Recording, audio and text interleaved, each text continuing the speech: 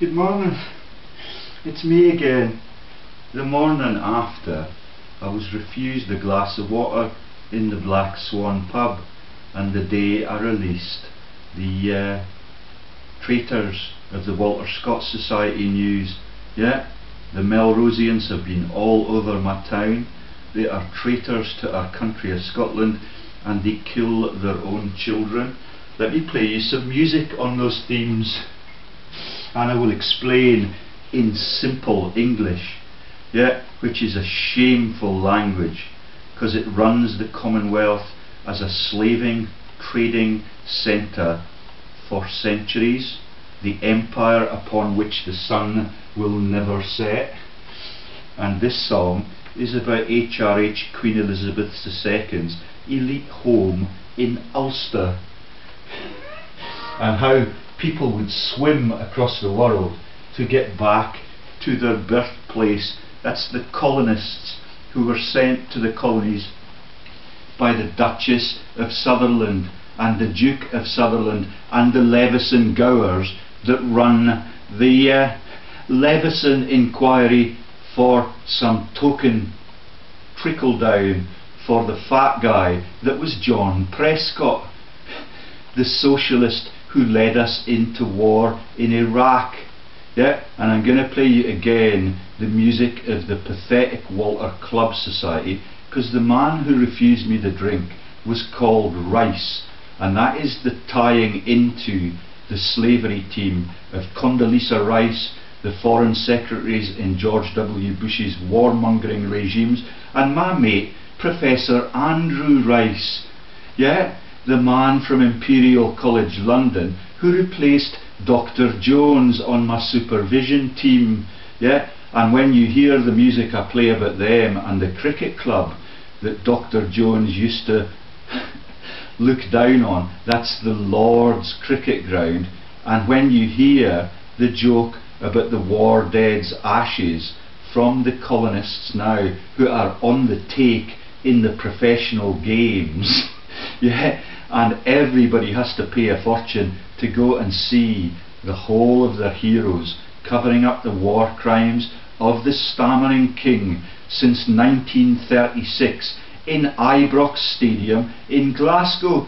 Anyway, I've made it plain that this is a video in my living room on the freedom joke. Yet there is no freedom. The world is run by tyrants for all of its history and the jokes about Carrickfergus yeah, and Hillsborough, which is the place called Lisburn, where Queen Elizabeth II has her elite residence and troubles, solves all of the Irish troubles with all of the profiteers that participate in the massive monarchy illegitimate, illegitimacy fraud but do not have the courage to speak about those issues. Yeah, all of the politicians, all of the leaders in our sectarian society are for profit organisations. And that's why they pretend that given the opportunity, they would swim back home from the fucking colonies yeah, that the Duchess of Sutherland and the Levesons sent them to in the first place, and then they become the cricket profiteers. Yeah, and the cricket profiteers, like Kevin Pietersen have the same initials as Calpurnius Piso, the man on the golf course. Run by David Murray, right opposite Abbotsford. Yeah, that's David Murray that owns Ibrox and has bought it using his fans' cash twice already registered in Dunedin, New Zealand like the Rothschild Trust, are registered in Auckland, New Zealand, and all Brits are slaves to those elite families that declare war every generation, every country, every continent is theirs. And I was not allowed a glass of water last night, but in the other pubs I was able to speak with people from Kelso who have lived in Kelso all of their life. And they understand the Quislings, they understand the deviancy, and they understand how relatively great our country was in the 1960s and 1970s, even after Harold Wilson, the socialist, had bombed the Garden of Eden for the BP wealth in somebody else's country. so, get your hanky ready. This is romantic genocide.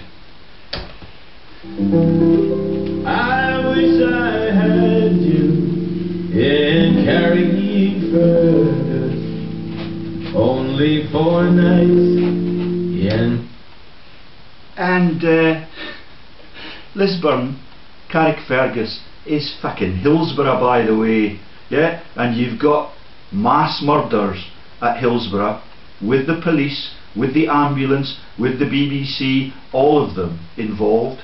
You've got mass murders in the bringing down of the Twin Towers with the monarchy involved. And all of the publicisation of that with the little red doll and Sarah Ferguson's demonisation for what the monarchy have done for centuries is shocking.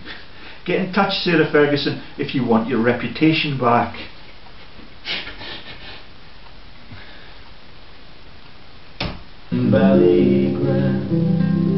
I would swim over the deepest ocean, the deepest ocean, to be by your side.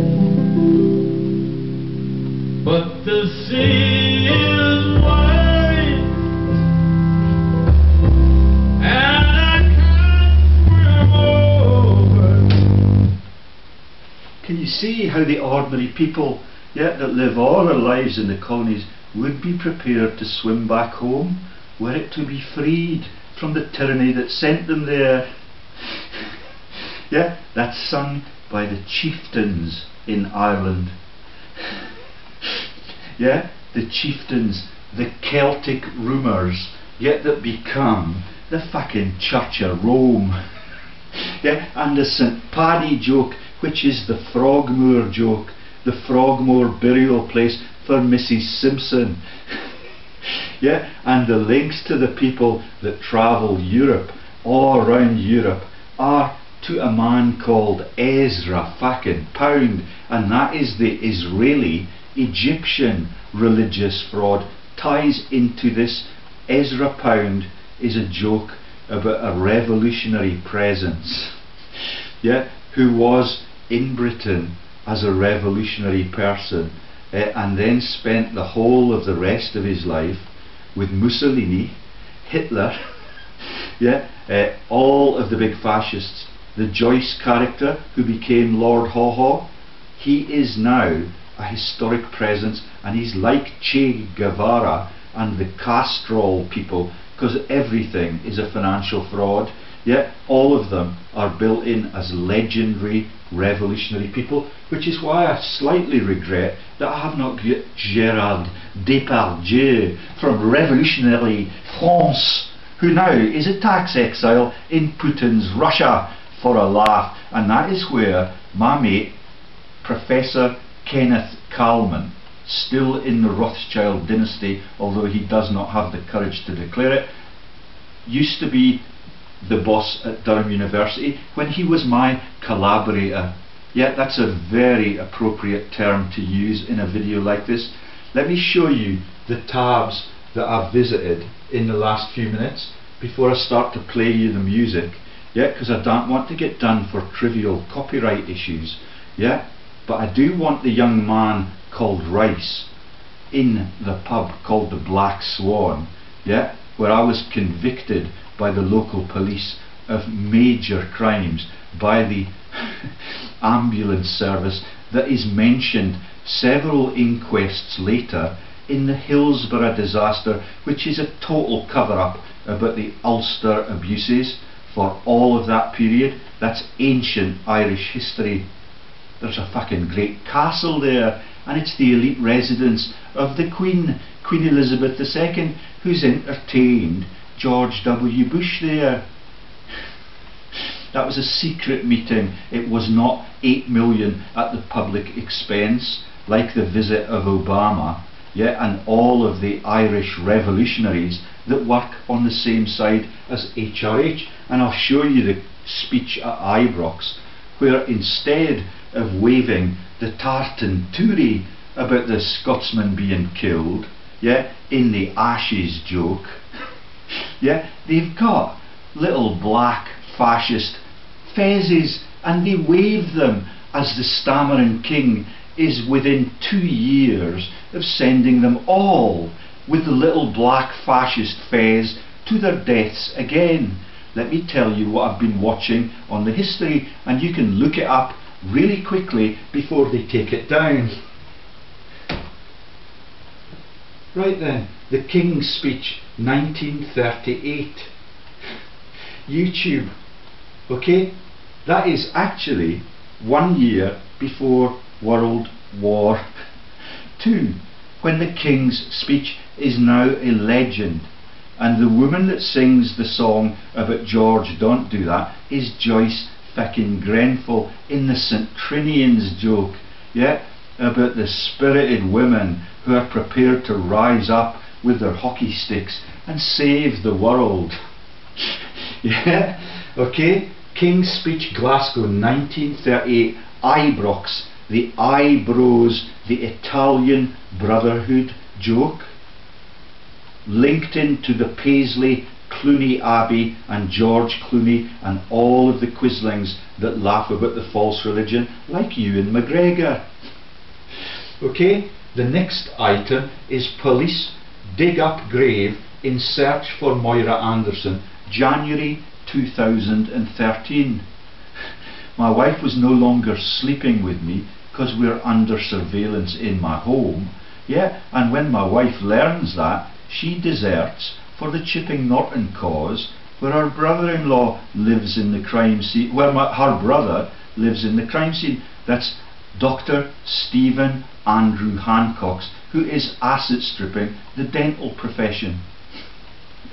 yeah, and he gets the massive trade fairs all around the world, and his family were involved in the dismemberment of the British railway system under Beeching, and they lived in the Crewe region where the Duke of Roxburghe has to cover his marriage into the Rothschild dynasty through Plump Hannah's surviving relatives. And that takes you into the Naples religious fraud story again. Do you see why they are desperately keen to spend a fortune on covering up the real world history? And the sun keeps flashing in and out because it's totally sickened because it has to watch all of this through all of biological time. right then. So, Moira Anderson, Under Dark Skies, launched by Stephen House the week he was knighted, and his salary went from £100,000 to be a traitor from the London Metropolitan Police to £250,000. Yeah, and the forensic evidence that they've got to try and bang up somebody for a 60 year old crime in Glasgow, where the King made his speech at the Italian Brothers venue, yeah, brutalised in the Ibrox disaster by David Murray and his surviving profiteering relatives. yeah, that's Sir David Murray on the interlocks that we described yesterday with Scotland's profiteers. Which reminds me of this music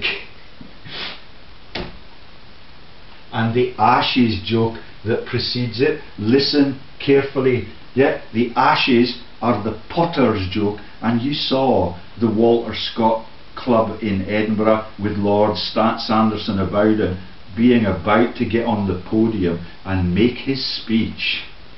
Yeah, round about the time when I was being persecuted by the Borders Police and the judiciary in Jedburgh.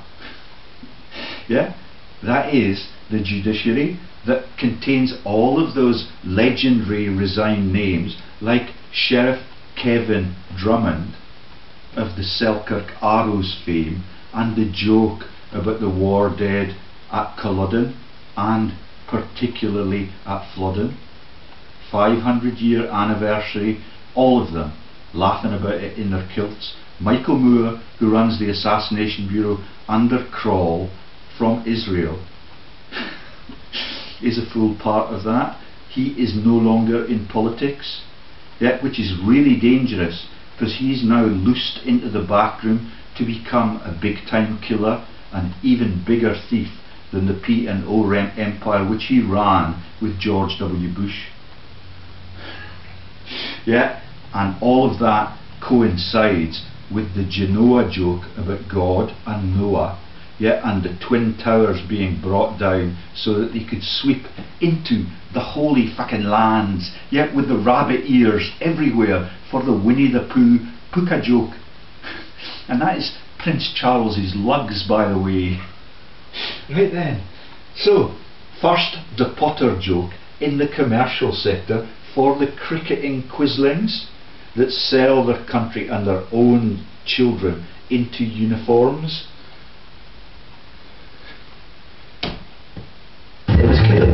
The best cricket series ever. We were under the pump right the. England regained the Ashes. I remember at the Oval watching the England team and the England public celebrate. I mean, there's grown men crying. Hadn't seen it in their lifetime. That's probably the most intense feeling of self-doubt and insecurity. So, that openly says that we're laughing at your war dead and all of the colonists, which I am one of, but I get the bung, yeah, and that is the Ashes joke at the Lord's fucking cricket ground, which is the God joke and the Genoa joke. okay, do you see why the sun flashes in and out as the truth is revealed? yeah, and World War II and the links to that timeline. Let me take you down the history tabs yet before I get done for copyright history. So we've dug up Moira Anderson, dead for 60 years already, and the word bus because of Anne Gloag's crimes in Perthshire. yeah, and her brother Souter's crimes, yet they have the massive bus empire, and all of that was created on their redundancy payments when their dad worked for the SMT. the Scottish Motor transport system that was paid for by the state like all of the energy scams that I've told you about. Yeah, that's the big six energy companies and our august politicians that could not solve the Irish troubles but got themselves on the boards of dozens as non of companies as non-executive directors. So the other historical things are the two Ronnies called it sketch.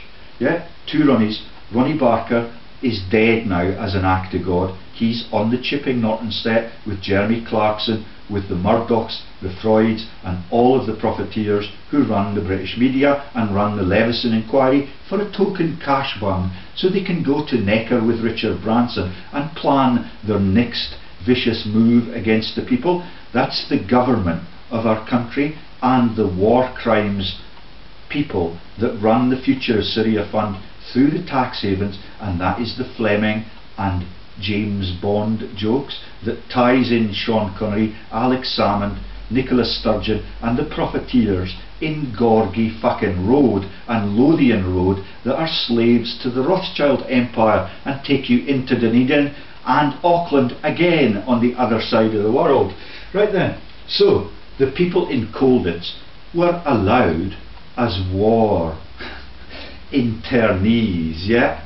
Yeah, they did not have to have dirty protests and put shit all over the walls of that elite castle, which is now a tourist venue for the whole world.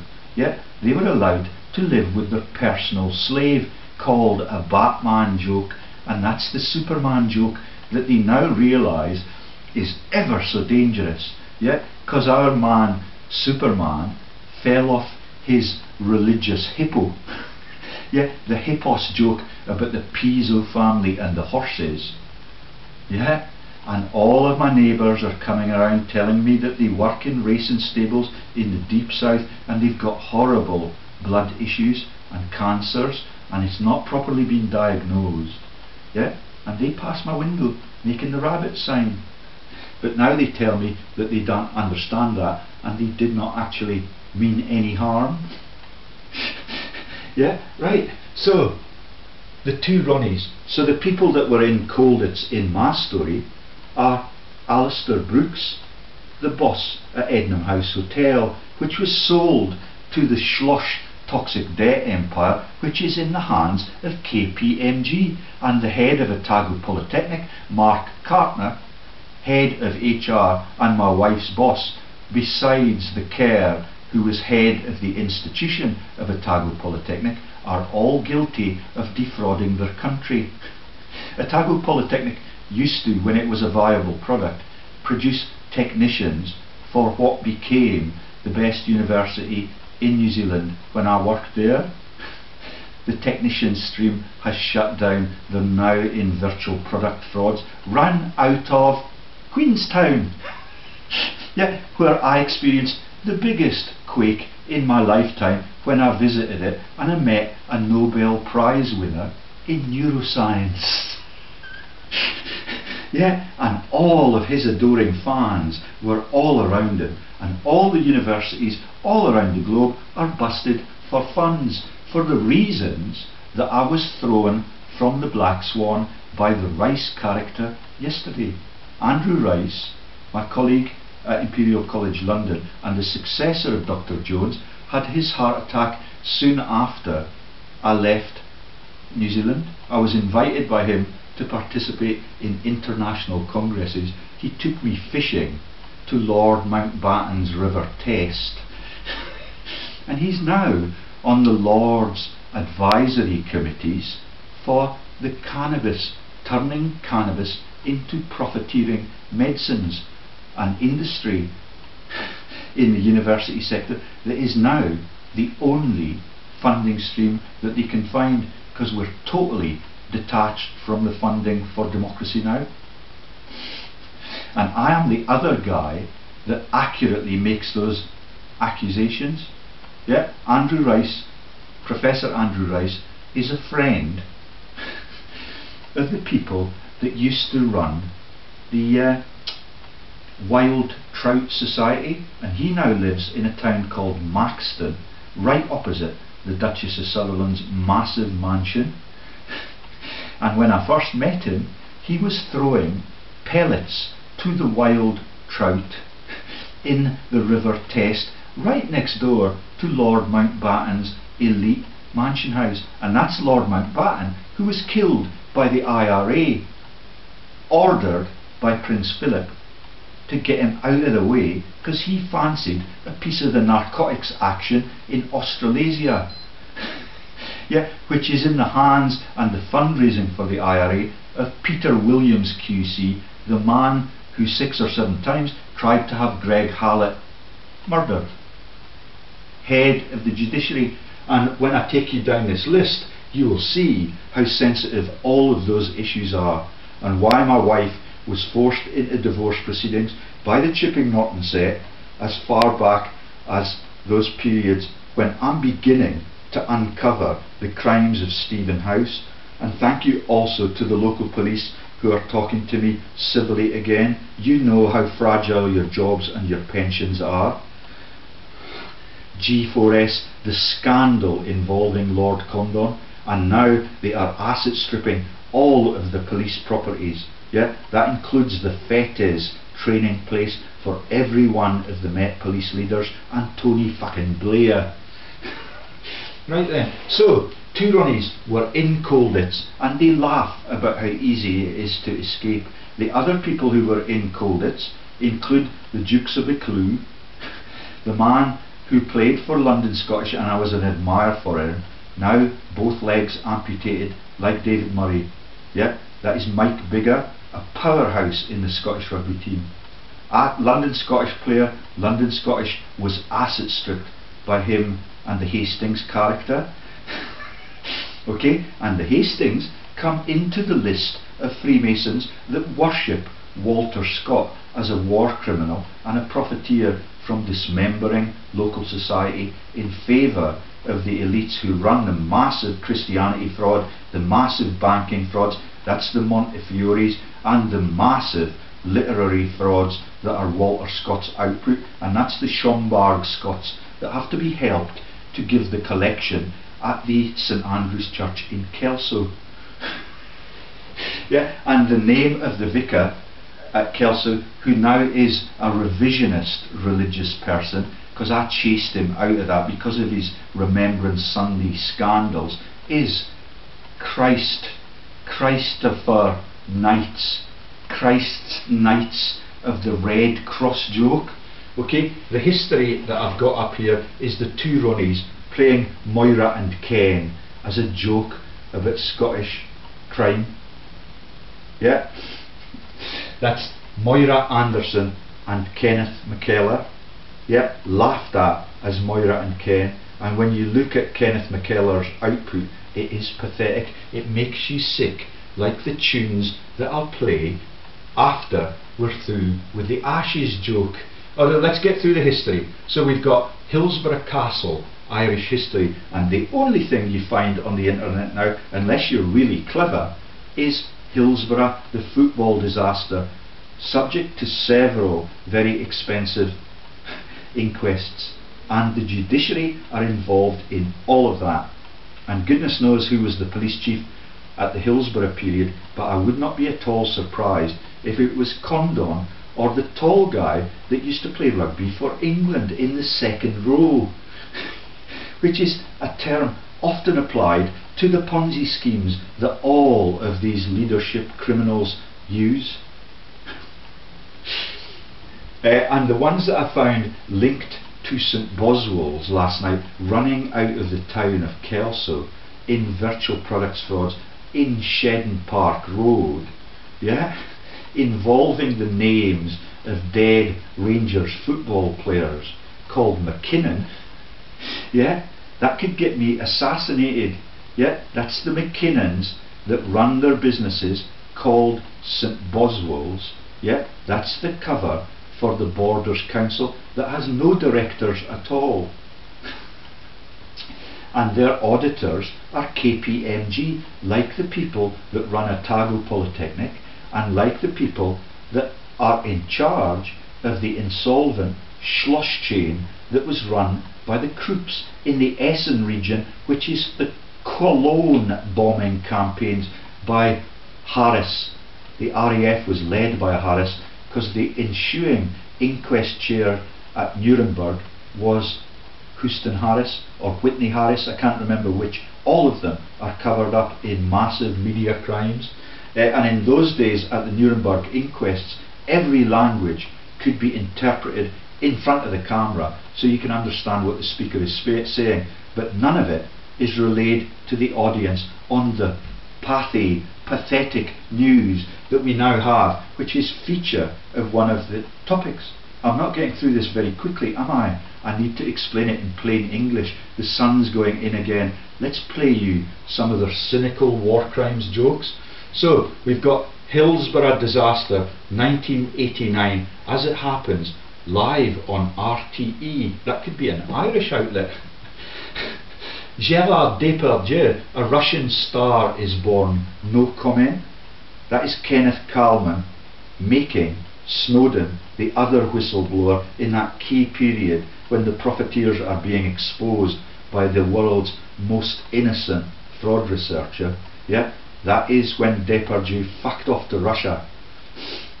when Putin was under heat from Prince Charles as the biggest threat to world peace since Hitler, yeah, who was a friend of the fascist, who is Ezra Pound. And he becomes Israel. Ezra, Israel. Do you get it?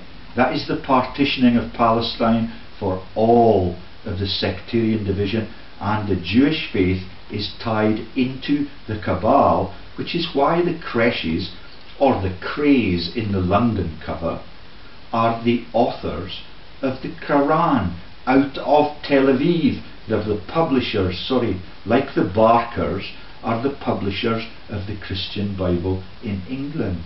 And they run, yeah, my brother-in-law's little puppy dog with the floppy lugs, the joke about Winnie the Pooka and all of the war crimes, yeah, is Churchill Springer Spaniel, the publishers for the Christian Bible, the Scottish version, Church of Scotland version, and the Anglican Justin Welby oil magnate version. It cannot get more corrupted, and I feel really sorry for that young slave behind the Black Swan bar. Because I told you a couple of days ago when I revealed Lord Sanderson of Bowden's crimes as a Freemason, yeah, and as a member of the House of Lords, and he defames the Spaniards for having seven, seven mile long fishing nets yeah, in the fishing industry that he runs and negotiates the EU quotas for. yeah, right then. Hillsborough disaster, Gerard Depardieu, Lord Sanderson of Bowden, Sir Walter Scott Club. Let me play you the music yeah, that comes after the Ashes joke for the cricketing people. right then. And this is music by Rihanna, but I'm going to take you into the other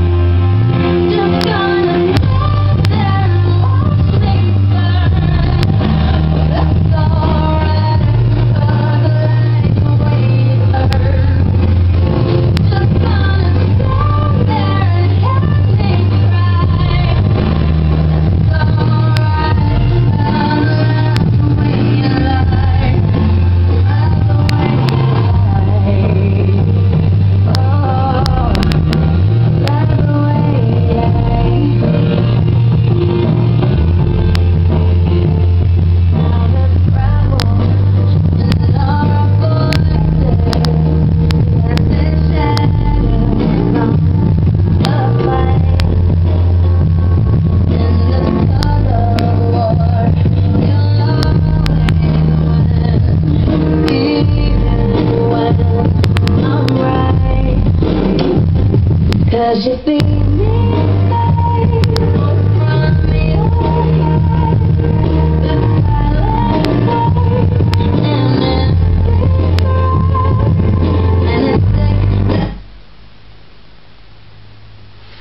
then, it's sick. Do you remember this music? The Scottish cabal of Walter Scott war profiteers?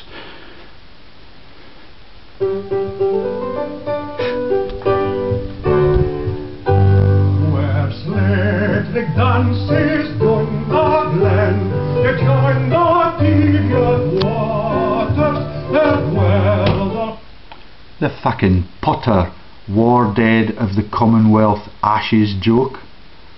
Yeah, I'll show you it much more explicitly. Now,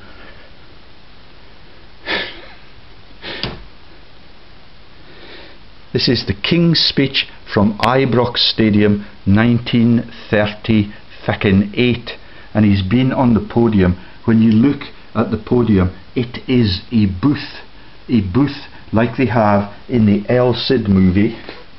Yeah, uh, and it is about the ownership of the world and the culling of the world's armies in an unjustified con- conflict. And this is the celebration of their greatness. And what they do is they have all of the jokes on their coat of arms. Because these remember are the Germans. Yeah illegitimate for 160 years. This is the second war in this man's lifetime. World War One was the biggest cull in global history. Okay all for their private interests and the Rothschilds fund both sides all of the time. Yeah and there is the British pathetic citizens being laughed at because that is the cock that crowed three times when it was revealed by the non existent St. Peter that Jesus never existed either. Yeah, and all of them, when the heat is on, deny that they are part of this plot, which is why Sarah Ferguson was demonised as a low-life member with red hair and a little red doll on the 101st floor of the Twin Towers that were brought down in the Genoa no God joke. Yeah, it's getting kind of gusty. yeah, and uh, thank you to the people of the borders who have lived here all of their time and realise how easy it is to be civilised and open and honest. yeah, that is what the world needs to cling to if they do not take you down first. Let's watch this. Yeah, this is in Ibrox Stadium, Glasgow, where they crashed the fans down the stairwell and killed, I believe it was 66 of them, like the chapters in the sectarian Christian Bible. yeah. And uh, Alex Ferguson might even have been playing for them then, which is the Fergie cover ups for all of the crimes of the Busby Babes in America. That's murderous crimes.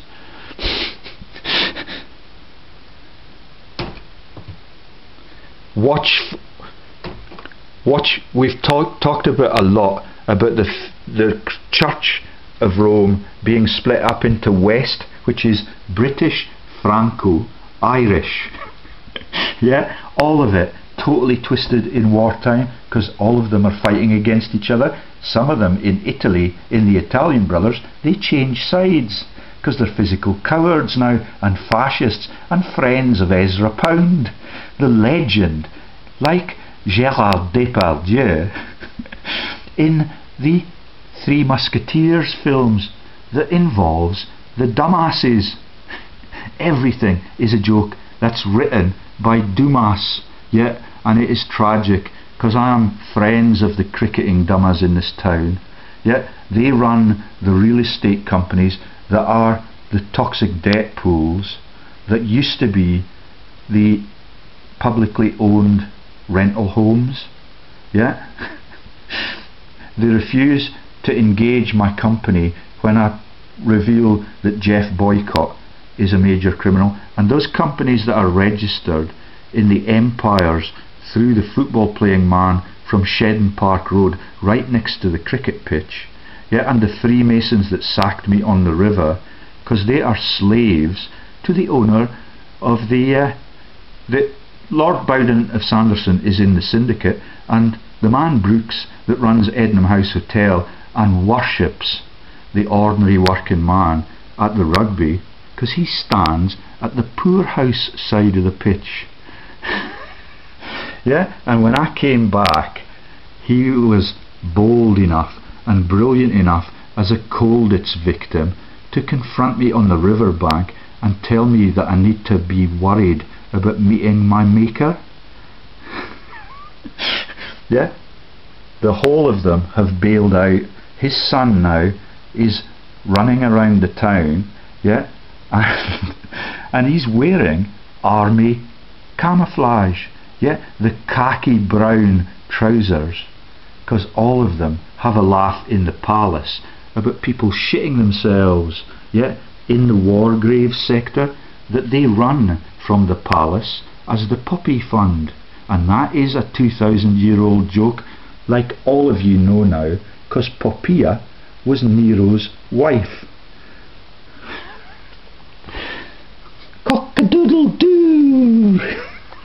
yeah, the French connection on the rugby jersey and the Clooney connection to Paisley and sectarian Ireland through Ian Paisley and the kneecapping and bombing jokes and killing people on the pavements of what could be our peaceful world entirely for profit. So watch as he makes the King's speech for the launch of the RAF, which is the Raphael Jewish angel joke. He works in the back room. That's the angel that comes at you from behind, led by Bomber Harris in the Cologne campaign, which is the Essen joke about the writing of the Christian Bible. And the sad, sad, sick joke about the Chariots of Fire and the Puttnam Book Club that makes a laugh out of all of the world's genocidal history. Yeah, that includes the culling of the 500 tribes, which is the six fucking nations joke for Princess Anne, the patron at the Scottish Rugby Union. and the mother-in-law of Mike Tindall to cover up the involvement of the Tyndall Air Base in the genocide or the mass murder of the Twin Towers and the World Trade Delegation, yeah, whom Prince Andrew is on for 10 years in the lead up to that event. and his wife now has the little red doll in the museum, yeah, by the Jewish American profiteers that used the Twin Towers to demonize and brutalize Libya, Iraq, Afghanistan. And thank you to David Cameron for partially starting to reverse those war crimes. I will not have you indicted for war criminality. Tony Blair's a goner. George W. Bush is a goner. And all of their names come into the religious texts in the Christian Bible. And the burning bush is the ultimate joke about morality and what world leaders are prepared to do to our world. Right then, watch for the black fascist fez that the Scotsmen in the regiments are wearing as the king goes out in his chariot of fire. I can make a real contribution to the general well-being. I have the greatest pleasure in declaring it open. The trumpets sound, the flags unfurl, and two squadrons of RAF planes did in salute.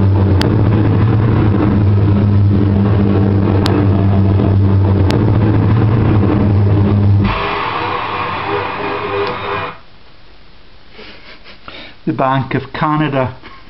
Yeah, everything they're about to do, they openly declare until smart people, yeah, who they've impoverished, come along and they start throwing them out of pubs for drinking water in those pubs, same week as their paymasters, yeah, in the Walter Scott Society in Edinburgh are exposed as genocidal criminals.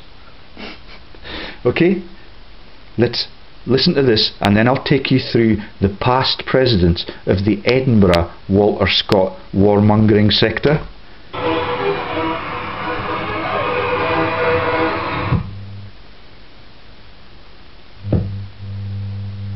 You notice that they are not bold enough to leave the original soundtrack on this. There's the maid, who's the Queen Mother. Yeah, that's the GG joke. The Governor Generals all across the com Commonwealth are slaves to the British monarchy who are Germans and change their name to the Windsors, like Barbara Windsor, who's married into the Badger cult people and sing in the music band Queen. And he still protects the Badgers against the abuses of the uh, poachers and the TB menace that eventually, there they are, did you see it? The hats waving around. Let me just take you back to that. The black fezes for fascism. Watch it. I'll try and stop it at the right moment. Yeah, this is the Scottish people that are being led to their deaths in Glasgow at Ibrox. And there is the tambourine in the O Brothers Coen movie that we saw featuring George Clooney and the biblical flood that saved him. And that's God that saved him from the original sin of profiteer, profiteering from killing your countrymen. Yet, in an iconic, I'd, would very much suspect that those bands are yellow. That's the Melrose colours. And even Michael Moore had the courage to declare that black, white, and yellow for the Rothschilds and for cowardice in the palace. Yeah, and on the draft board. And in look at the median age of those children. They're like the boy that chucked me out of the Black Swan pub because his leaders in Melrose and the Walter Scott cabal, yeah, which profits even from the brutalised abbeys, since King Henry became God's representative in England. Yeah? Are you seeing the magnitude of what your leaders have done to you since they invented writing? And this is the British wing. The French are particularly gifted at treason and establishing their power base in no bombing zones. yeah, that's Free France, Petty France. Where the head of the Bank of England used to live, but nobody's allowed to know that now. That's Mervyn King.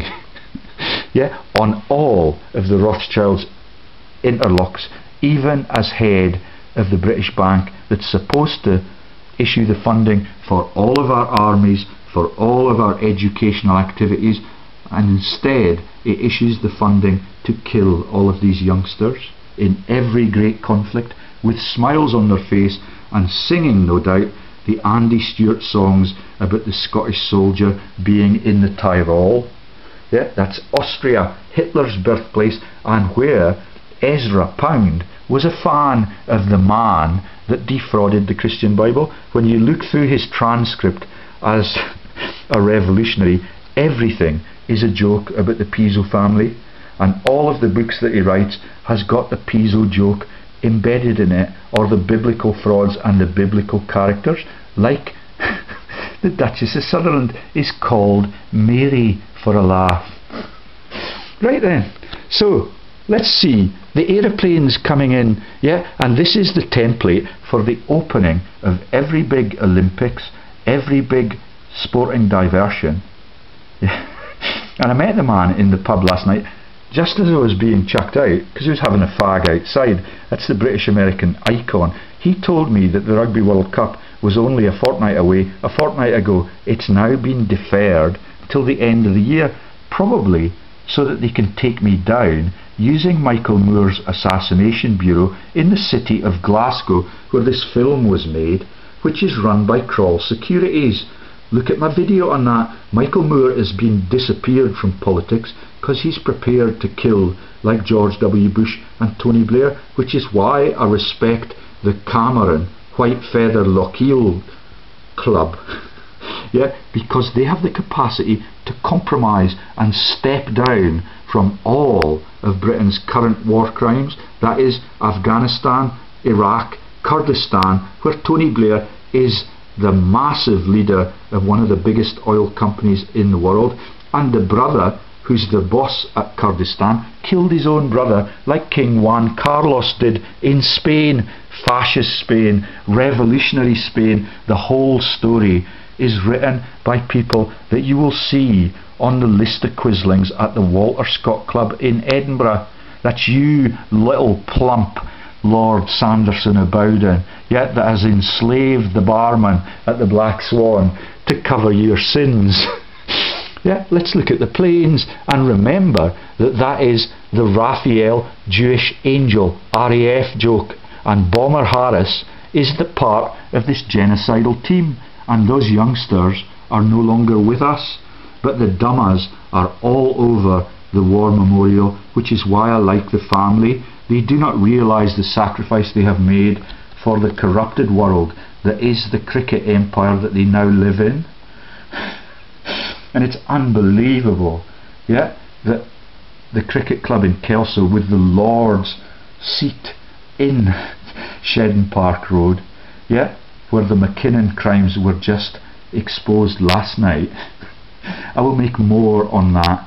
Yeah, they have got this seat that is a memorial to the Lord's cricket ground. And when you see the Ashes joke up front, it's in every movie that they make. and it's in the opening scene about the Walter Scott Club. So they do not have a Dimbleby making this speech because the Dimblebys are profiteers and all of the newsmen that have had their cardiovascular accidents, like Professor Andrew Rice, in the cannabis, turn it into a profiteering stream in pharma sector. yeah, they are, and they've got vast estates. His mum is a Norwegian, they've got the capacity to shoot boar and elk in Norway. yeah, and he lives in Hertfordshire, where they will not allow Brit- Britons to make champagne to celebrate events like this, because the French have the massive copyright on that. Okay, so somebody has turned the music off. yeah, and there is no music to the end of that film. Did you see that? okay, there's the King's speech that we're allowed to remember. Same year. Yeah? Same year. Flemings all over it. Australian comedians in the speech sector. Yeah? It is absolutely tragic. Right then, let's show you how the literary sector and the newsmongering sector. So there he is. The Notting Hill fucking set that are in the Leveson inquiry scandals. Yeah, and this one makes all of the romantic movies, including the ones about Jane Eyre and burning the other unwanted wife in the attic, which comes into the Bobo Roxburghe joke.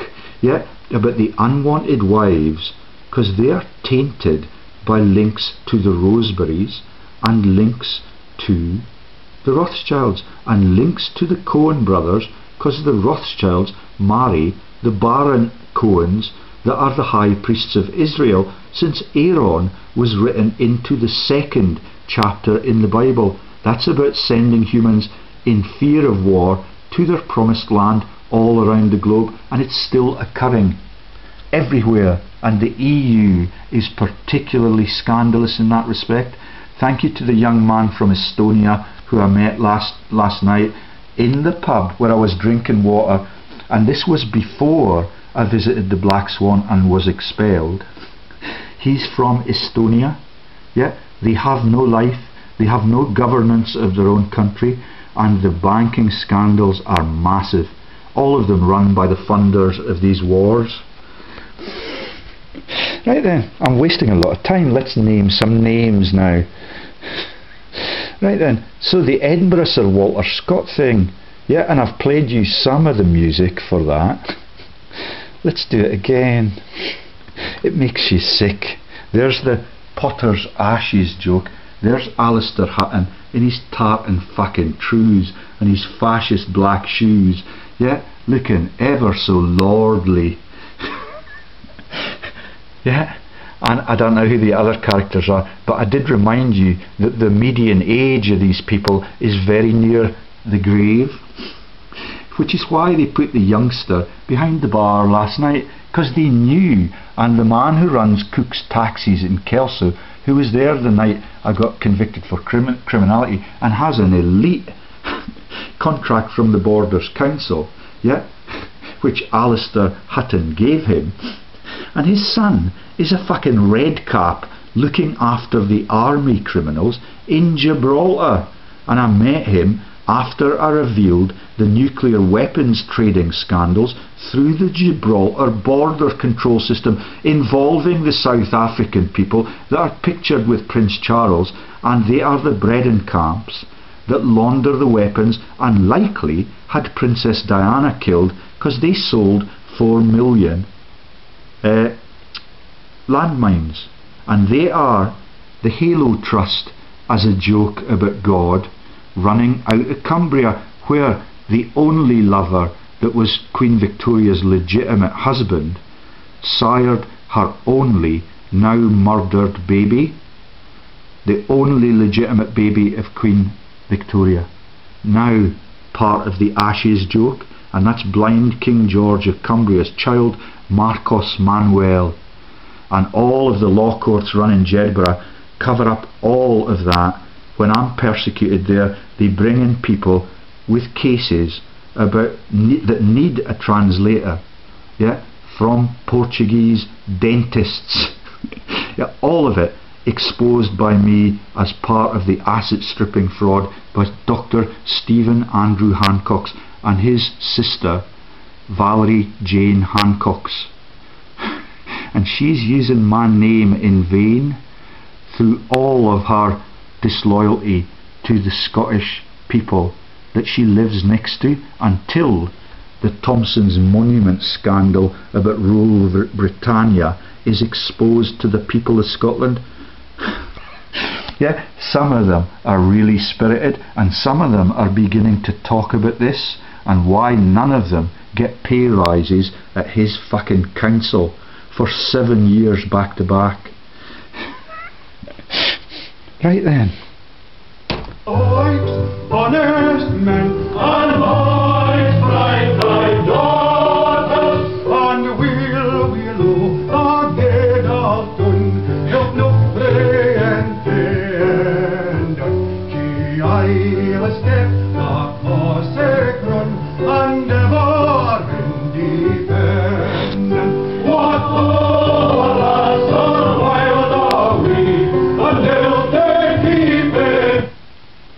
very near the grave, median age. yeah, you should not persecute innocent young Freemasons from Melrose or wherever that young Rice came from. That's Condoleezza Rice, David Ice-Nailed Way, Ick-Nailed Way slaves, all of that takes you into Chipping Norton at the bottom and fucking Derby at the top. And the Derby links take you into the Duke of Devonshire and the West Country jokes of the two Ronnies sucking the straw at the gate. yeah, and when you see the two Ronnies singing about the ownership of Scotland's mountains, it makes you cringe like these people. Yeah. okay, right then. So, Edinburgh, Sir Walter Scott. Let's tell you who their past leadership team is that gets to spout off in front of them with the bow tie and the kilty stuff on. 2015, Brian Taylor. Thank you to the Taylors who talked to me last night in the pub, who have lived in Kelso for all of their lives. Probably nothing to do with this person, but maybe prepared to take a holiday in the Côte d'Azur to cover up his crimes. 2013, Douglas Gifford, don't know anything about him.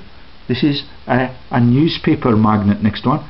Sir Max fucking treasonous Battle of Hastings joke missed the kick in front of the post, crashed London Scottish, where Mike Biggar became legless like Sir David Murray because he's a profiteer. Yeah, and I've told you about the people that profit from the game, Jock Hobbs and the legendary uh, Australian standoff Michael Lynagh, who's been disappeared in an intensive care unit in the countries where I used to be a, a revered professor of neuroscience by Andrew Rice with links to Norway and the cannabis sector because he intends to profit from what the judiciary ban up the youngsters of our country for smoking the cannabis, yeah, not for laundering it like the people from the River uh, Test region that are the neighbours of Lord Mountbatten that was killed by Prince Philip and the IRA. Let's keep going. Um, Emeritus Professor Claire Lamont. Yeah, have you heard that name before in any of the videos that other guy might have made? John Lamont was not in the pub last weekend. He was running trade stall in Kelso Square. Yesterday there was a wedding and it looked as if the groom was in a wheelchair, but I did not inquire because I'm polite. The Right Honourable Lord Sanderson of Bowden, 2010. Yeah, when I came back onto the political scene and I was invited by him to fish at Abbotsford. Yeah, his cabal with the Colditz victim, Alistair Brooks. And his son's name for a laugh at the sound of music jokes is Ralph. like the lover Yet of all of those children that are puppets with strings. 2009, Dr. Iain Gordon Brown. he is a famous politician. You might have heard of him in the context of crashing uh, Britain's gold stocks and selling it off to the EU to make them solvent. Yeah, Chancellor at Edinburgh University, Prime Minister in our country at that time. Yeah, with the help of the boss at the Scotsman newspaper or the Times, I can't remember, fishes the Tweed, yeah, which is the direct linkage to the Tweed commissioners and the cabals that are revealed out of Melrose into the Montefiores, into the Dukes of Roxburghe, and into the Black Swan Bar that was empty of poor citizens because I've given them a conscience about demonising people for playing rugby for their country on a Sunday. Yeah? And the other Brooks that's registered as a current fascist is Gav, my old mate.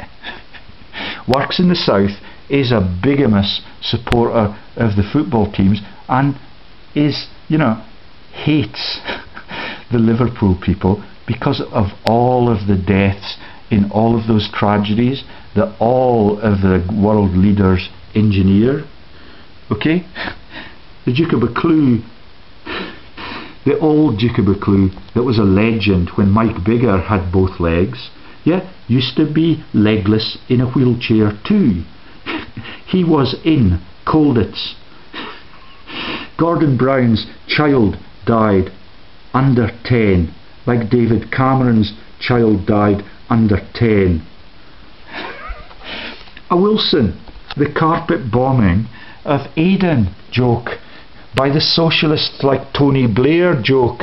Professor Ian Campbell is coming to terrorise you in 2006, and then you've got the James Robertson jokes. Yeah, the James Robertson Justice character in the Carry On films with eh, the woman Windsor with her tits out, yeah, right up the Khyber Pass as a laugh about the empire state upon which the sun will never set. This one is a friend of Israel and is a friend of the World Bank leader Bruno, yeah, that launches Frank Bruno into the sporting sector, and Tam Dalyell, who's a friend of Israel and a Labour Party magnate who helps to partition the new Quisling government at Hollywood and Holyrood, yeah, and all of their buildings are ten times over budget, and that's in league with David Steel, who's in charge of the Future of Syria Fund with the Bond family that are the Flemings that run all of the war crimes jokes. Yeah, that's the Winnie the Pooh sector, and the Stammering King was the author in that joke. he has an IQ of 70, which is why he's married to the maid from the downstairs sector in the palace, and why his legitimate lover, picked by the Rothschilds, fucked off back to Scandinavia because she would not have to live her life with an imbecile that is genocidal and cannot even make the speech on the greatness of the Commonwealth in the same year that he takes the world into World War II. Right then, Professor Jane Millgate, that's the miller turning the bones to flour joke. yeah, and the millers, the Miller homes, are a massive part of the Rangers fraudster that operates out of Kelso that I discovered last night. okay, Miller homes all over the south of England, all over the Lothian coast and the Cramond South Queensferry region where Alex Salmond is now in the process of profiting from the building of a third Forth bridge. Yeah, and right opposite where Gordon Brown runs his crime scene.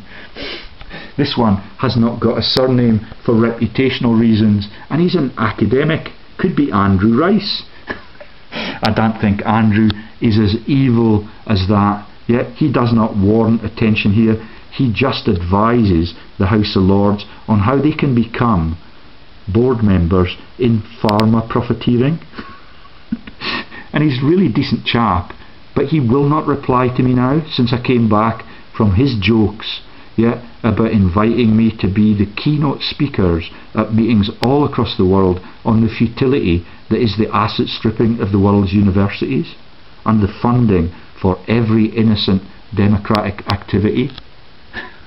Please get in touch, Andrew Rice, if you have a modicum of conscience and if you do have the courage to visit the River Tweed and to associate yourself with the boss at the Wild Trout Society again, who wears plus fours at Mertoun, right in front of yeah, and and the Mertoun Kirk has a shackle on the front wall, yeah, or it used to have. It's probably been taken down, but they still have the shackle on the wall uh, at the the uh, place that is the tributary and the meeting place of the two rivers for the River Teviot, which the Hawick men are singing about in that song.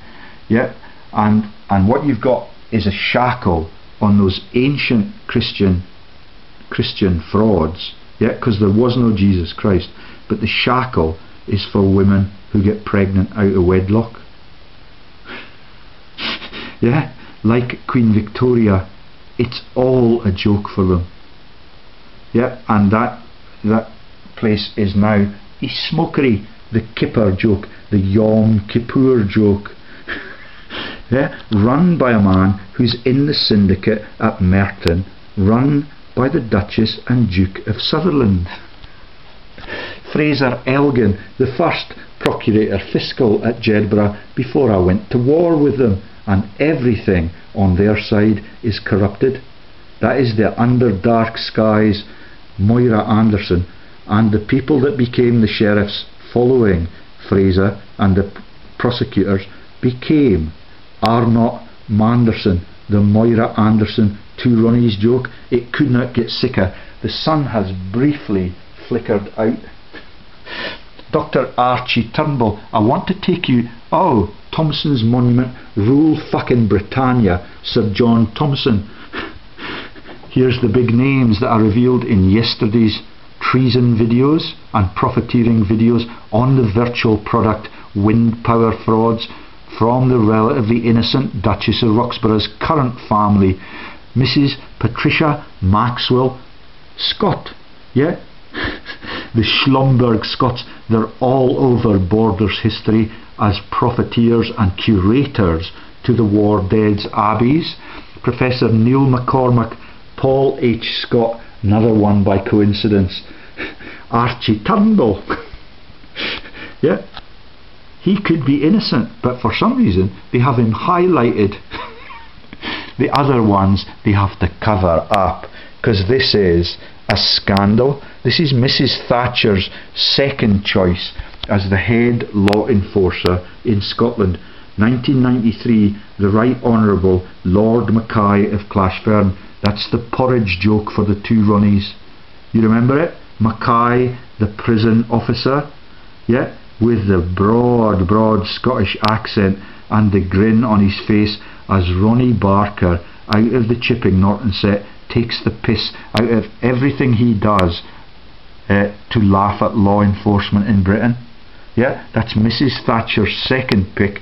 The first one was Nicholas Fairbairn the Poof yeah, and he runs sexual illnesses charities. I forget what they were called.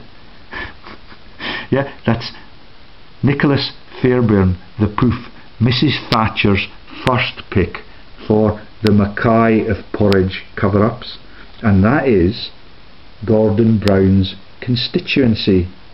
Yeah, that is Gordon Brown who became the head of NATO and the UN, and he took the victim of the religious terror to the Birmingham Royal Infirmary and fixed her massive brain injury within a fortnight and then she becomes the speaker for this team that's Malala this one is really serious this is the Right Honourable Malcolm Rifkind interlocked in 2002 with the inquest to the arms to Iraq chair Sir John Anthony Chilcot. Yeah, that is a huge warmongering scandal, and I will be taking that to war crimes proceedings in due course. He is on the board of G4S, yeah, like Lord Condon, the inquest chair on the killing of Princess Diana. All of the innocents get it in the neck, all of these people get appointed for their deviancy and his real name is Rivkind, but that's far too Jewish to be revealed. Like the crimes of Tam Dalyell and the Bruno character who was the head of the World Bank when Frank Bruno was easy to knock over in the British boxing sector and Frank fucking Bruno is unhinged now with psychiatric issues that only the Freuds will be able to fix out of Rupert Murdoch's marriages in Chipping Norton. 1991, Mrs. Dorothy Dunnett. 1990, Professor Edwin Morgan, the J.P. Morgan joke, yeah, Tony Blair's funders for his little bungs at the Leveson.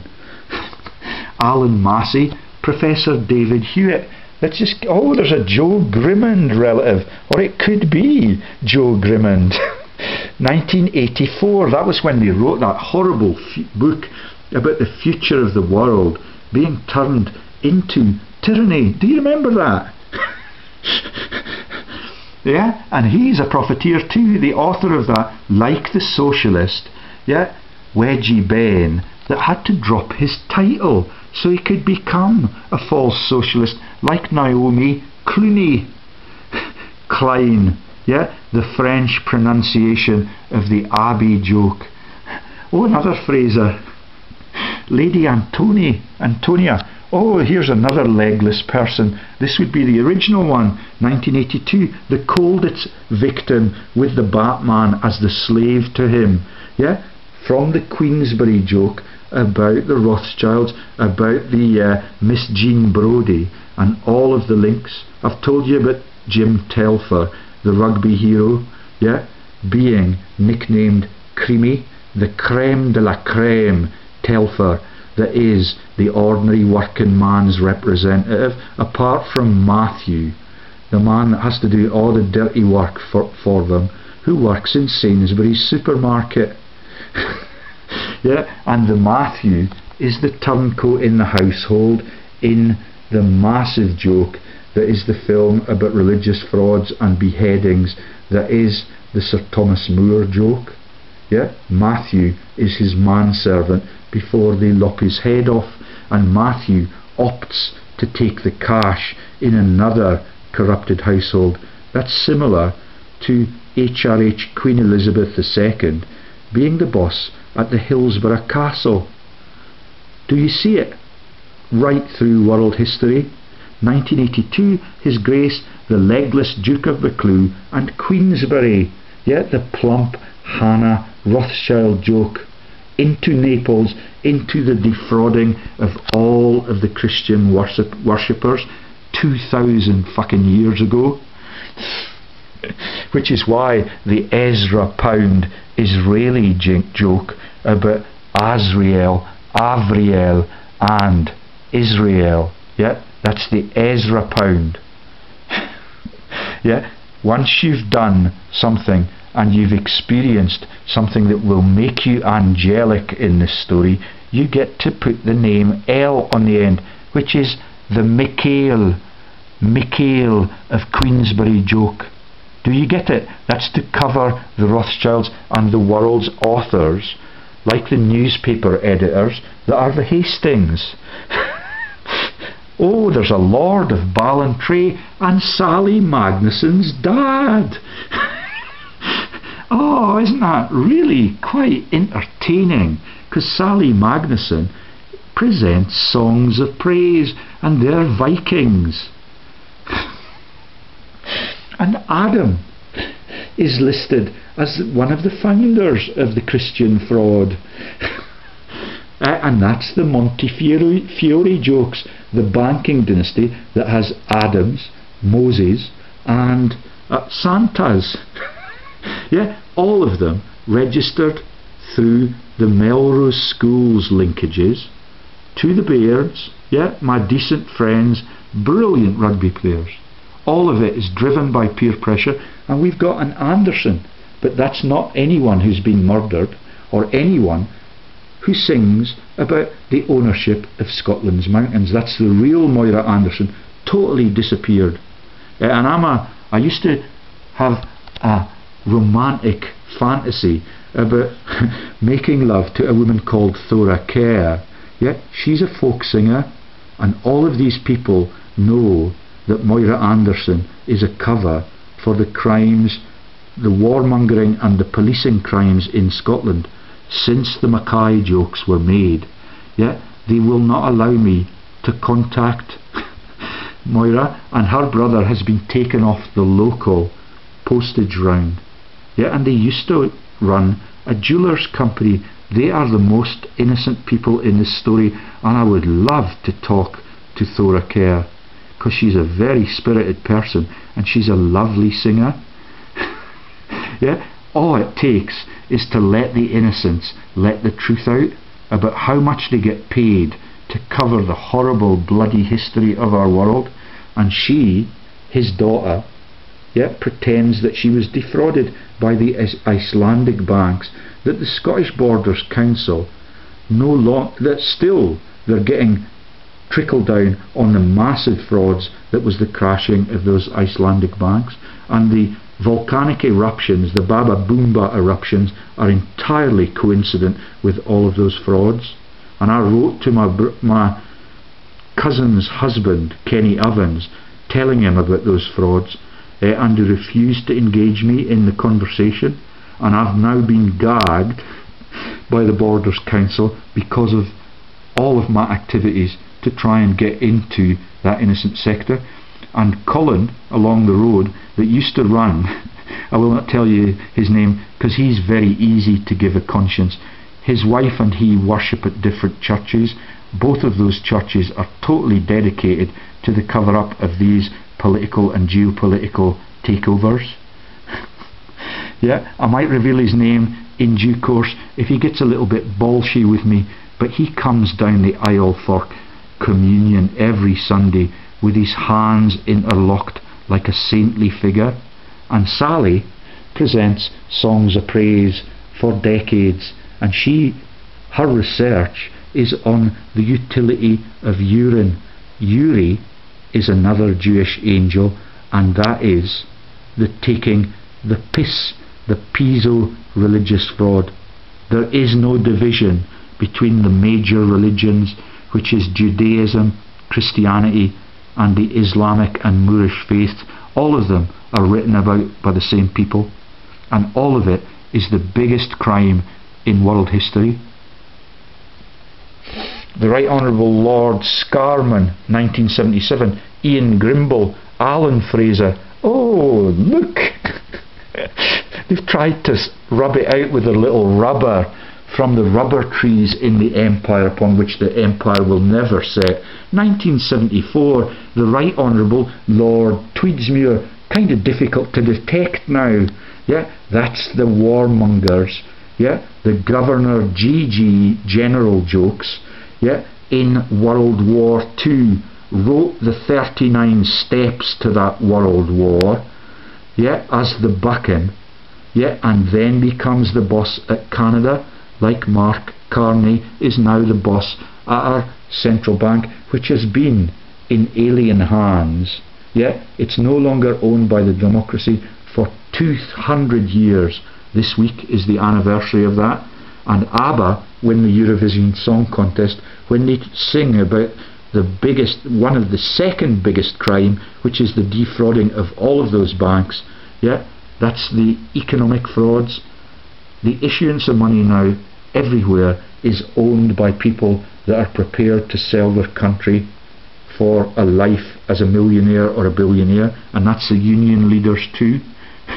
This is a Prime Minister in 1973, the Right Honourable Harold Macmillan, and he's mentioned, if you listen to little fat Lord Sanderson of Bowden talking about his achievements, yet in the political selling of our country, that's the whole of the United Kingdom in his case, yeah, he talks about Harold Macmillan being privileged enough to speak to the Edinburgh Walter Scott genocidal team. 1972 the Right Honourable Earl of Longford. Oh, and uh, yeah, the uh, the Dukes of Northumberland on the boards that I discovered in Kelso last night. They they have got Longcroft is part of their beating empire, and Longcroft is one of the massive Ponzi directors. Yeah, that's the Duke of Northumberland.